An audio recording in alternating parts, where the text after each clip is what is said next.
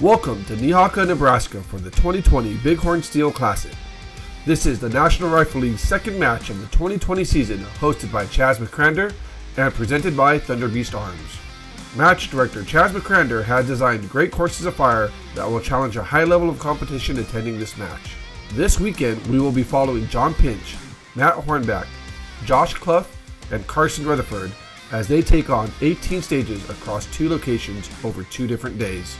With adverse weather conditions and an exciting course of fire, anything is possible. You're watching the 2020 Bighorn Steel Classic.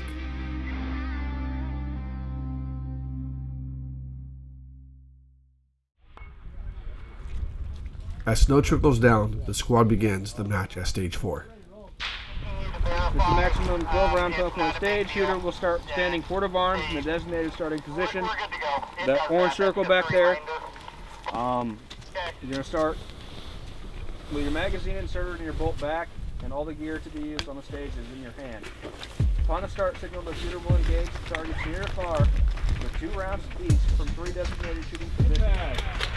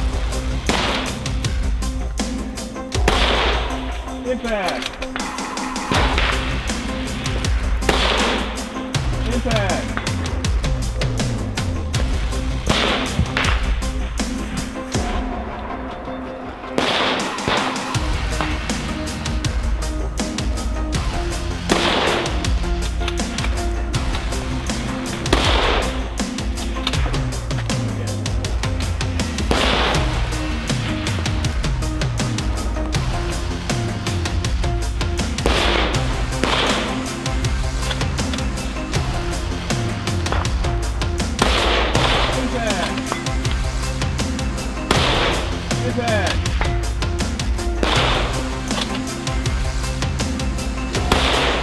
Impact.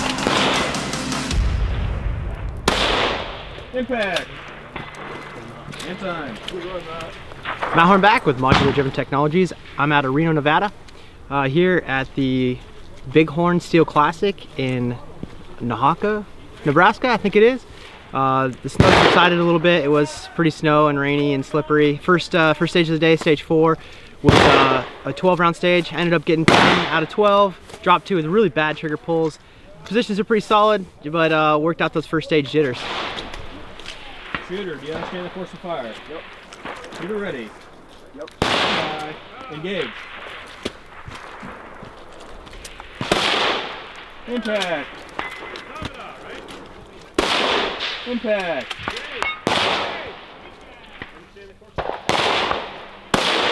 Impact.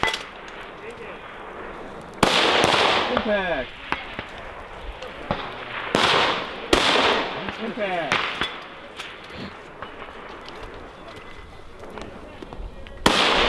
Impact. Wrong. Your first range is 430. Yeah. And all of us have hit with dope for 430, so I wouldn't lie to you. We went 457 and 430. The second one is just further out in that field up Yep. at the And bottom the, of that the range on that one was good. Okay. Thanks, sir.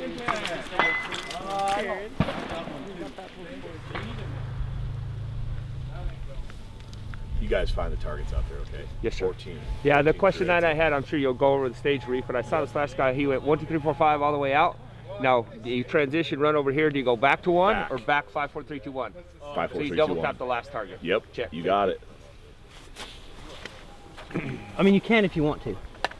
Well, Yeah. you shoot at the last target twice. It's more Yeah, of yeah. a, Okay. it's more of a suggestion to get points. It's a suggestion. I like that. Uh, Do you like hitting targets? I do. I like being able to have some time to get my crap ready first, too. Well, I'm sorry. I know it's my own fault. He's taking a nap in the truck for the I wasn't. I was looking for a mulligan chip, but I still can't find it. That's a sign. I could have used it on That's the first stage. Apparently. Yeah. Impact.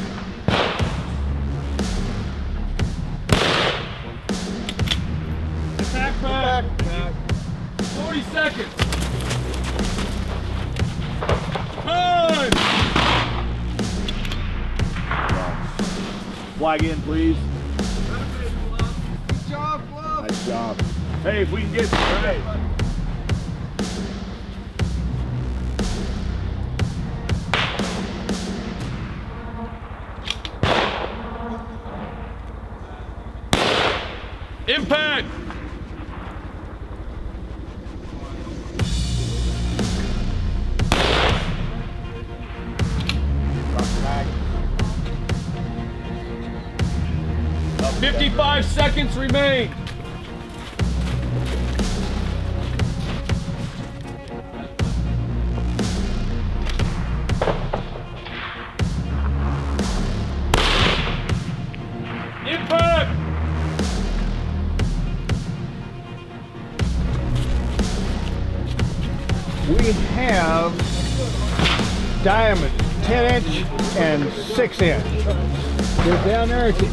Wood.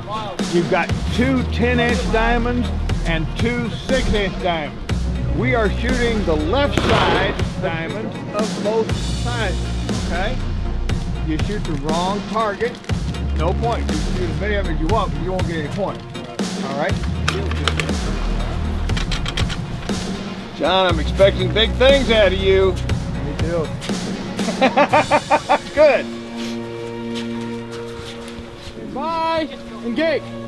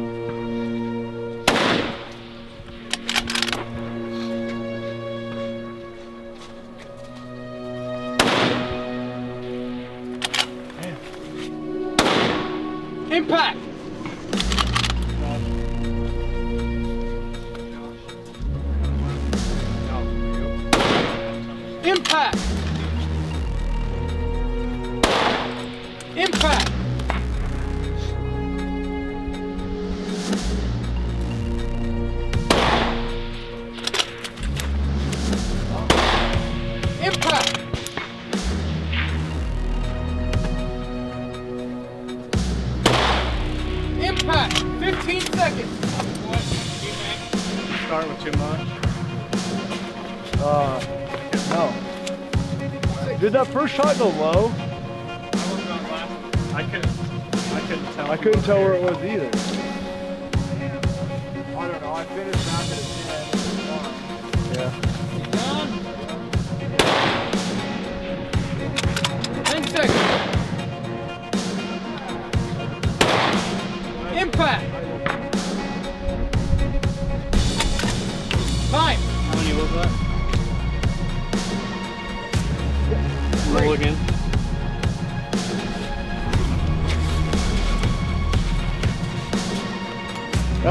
ha ha ha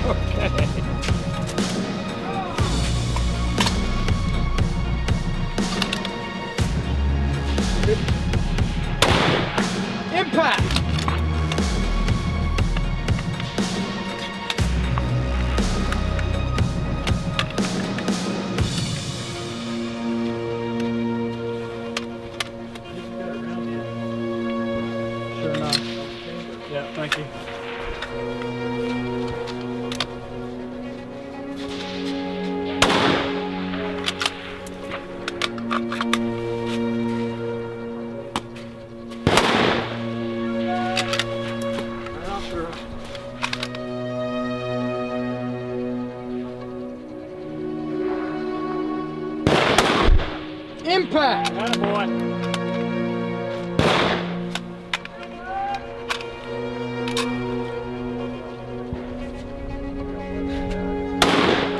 Impact! Yeah, buddy. Impact! 15 seconds!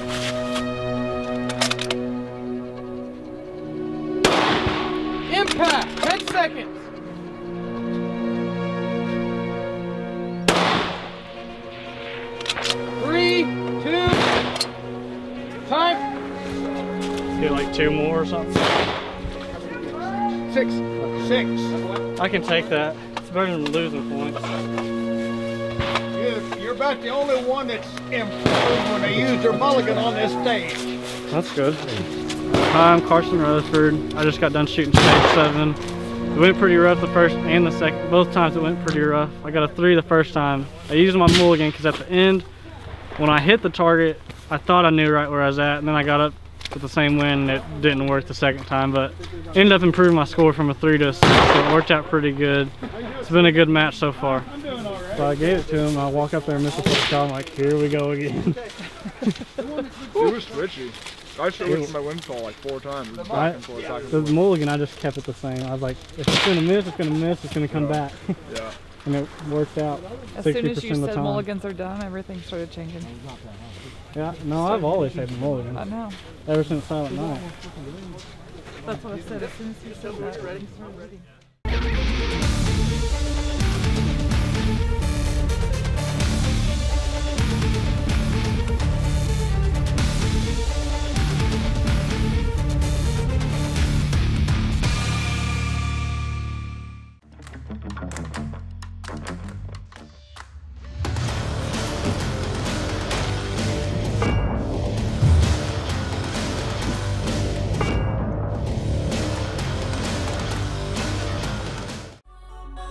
Jake Bibber here from Washington State. One thing I like about this stage that makes you think. All the stages are completely different. Hi, Katrina Milkovich. I'm from Arizona. That was pretty challenging. I didn't think I was going to be able to finish that well. So, so far, it's been a fun match. Carson Rutherford from Elk City, Oklahoma. I'm at the Heat Stroke Open. It was pretty difficult. High winds, fast mover.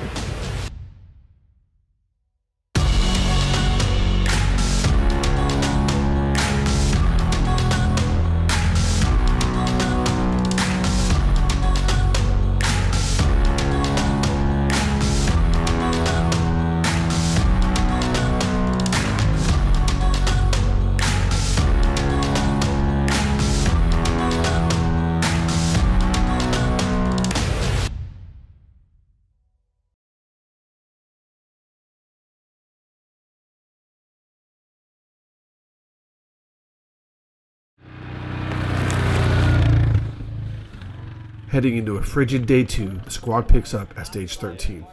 time today. So, any questions on where targets are? We got targets J, K, L, M, and N. So we'll start. Uh, J is straight out. K is off to the right. L is back to the left, and then M and N are back to the right as well. K, L, M, N. Oh, L must be up. J, K, L, M, N. J, K, L, M, N. It only doubles the first one. Oh, you set your stuff, I'll hand you the rifle, okay. and then we'll go. I was just. So, I was gonna let you set the rifle there.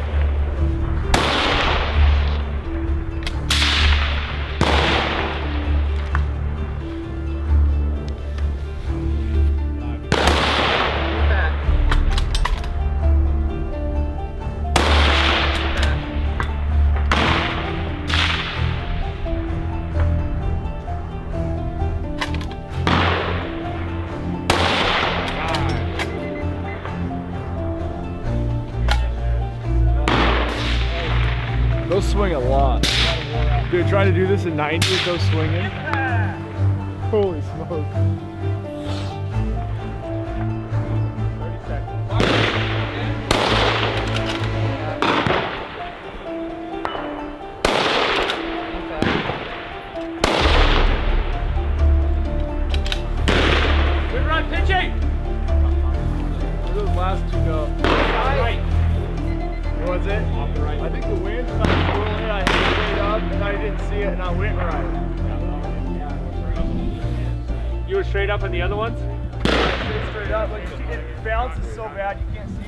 Anything.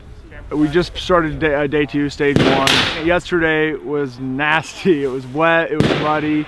Uh, probably the muddiest match I've ever been to. My brass is caked in clay. Hosed down everything last night. Guns, tripods, everything. So yeah, it turned out pretty well. Chaz did a really good job on course of fire, splitting up long range stages and close range. Real, pretty technical. Uh, it was, but it was a lot of fun. So I got beat up on some stages yesterday for sure, but had a pretty decent day. Today we started on probably my worst stage. On this side is the tree stand stage, kind of wobbly and uh, hard to see misses because the thing bounces so much. And I had a pretty good run. So wind was mostly in my face, so it, I got lucky on that one. So Uh, so far so good. Look, weather's a lot better, and we got grass over here, so we don't just play in the mud all day. So. See, I have good ideas sometimes. You do. So just when you move positions, just push your bag right and push your bag left. Don't move. Just just push it over. front bag or the back Yeah, bag? I just Front slid. bag. I just slid. day. I slid it right, and I slid it left, and I slid it right. and That's perfect.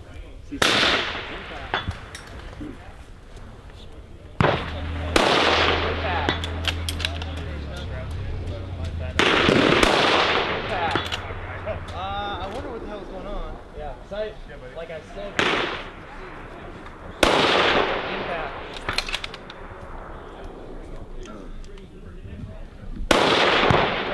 Wrong target order, and then I realized it. Oh, yeah. I mean, those are the close ones. You can't. If I did on the farther ones, whatever. But I'm not very smart. How much wind are you needing? Because I said that too much. I was straight up, straight up, straight up, straight up, and then I needed to go to left edge because I went to right edge and missed. I went further right and missed further right. So, and he did the same thing. He needed to be left. I think I think it's swirl. It depends on when you shoot it. stay straight up, probably. I would start there and try to see where it goes. These are small enough they won't. Yeah, you'll see. All right, shooter. Do you understand course fire? Shooter, are you ready? Engage.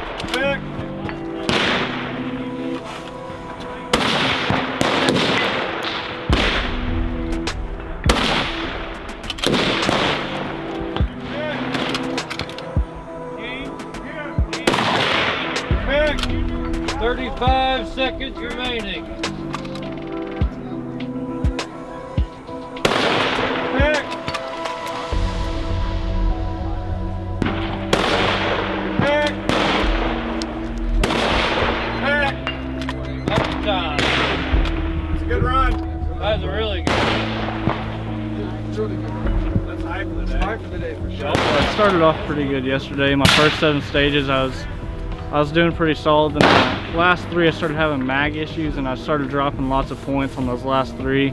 Kind of set me back a little bit.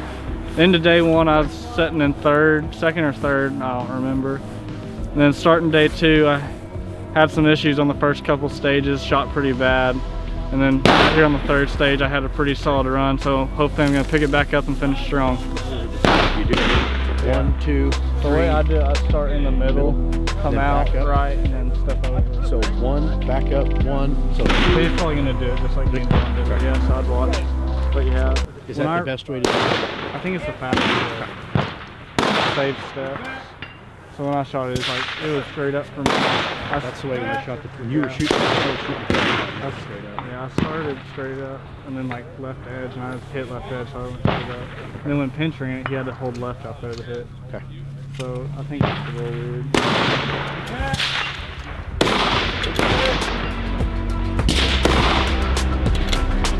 Forty seconds remaining.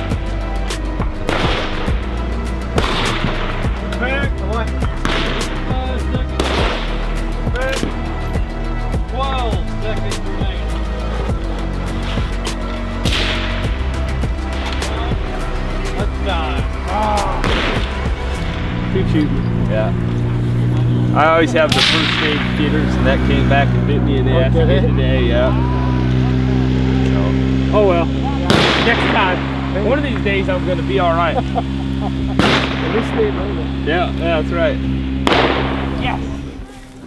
The the numbers are too good on this one. They're Point pretty two, good. One mil. I'm at point two, point nine, point four. Yeah, But it's not bad. totally manageable. I mean, holding point nine is as easy as holding one. Yeah. Well, I mean it's one tenth, one tenth I have point eight and one. Three matches. Yeah. So I just put it right Put on in the top window. and bottom. 512, 594, 486, and 535. 12 round max. You got a, you got 90 seconds to shoot.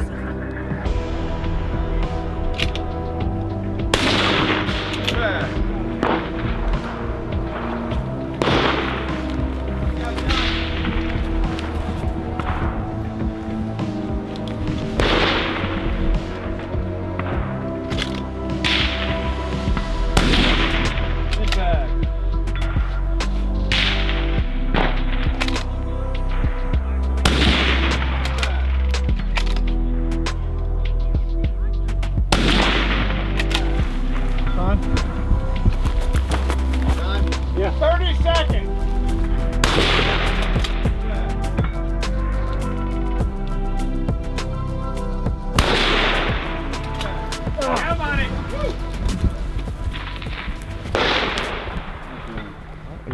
Josh Cluff here, HS Precision, out here at the Bighorn Steel Classic. Just finished a three positional prone stage. Uh, you dial, there's four targets, shoot one, two, three, four, move one, two, three, four, move one, two, three, four. Uh, I ended up running out of time. I got 10 out of uh, 12 shots off. Uh, hit the 10, but for me, I had to dial just because I'm not good at holding. So worked out pretty well. The match has been going great. It's a great little venue. Um, we've got a good squad. We're all having a good time. It's been fun. So look forward to uh, a little bit nicer weather today than yesterday. So it was fun. Boom shakalaka.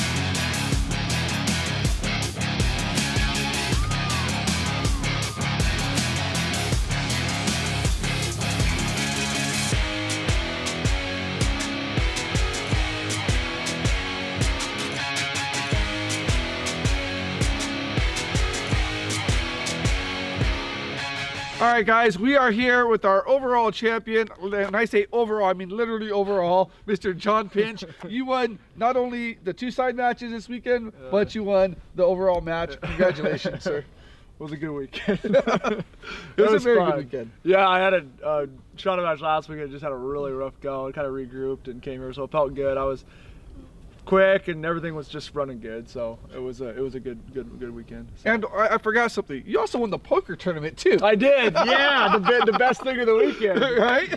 no, we had a good time. It was fun. I felt we had a great. We got an Airbnb with Cluff and, and Matt and some guys, and uh, it was a pretty laid back, pretty good time. So that was a good time. This has been a nemesis match for me. Uh, I've been here. This is my third time. Third year, yeah.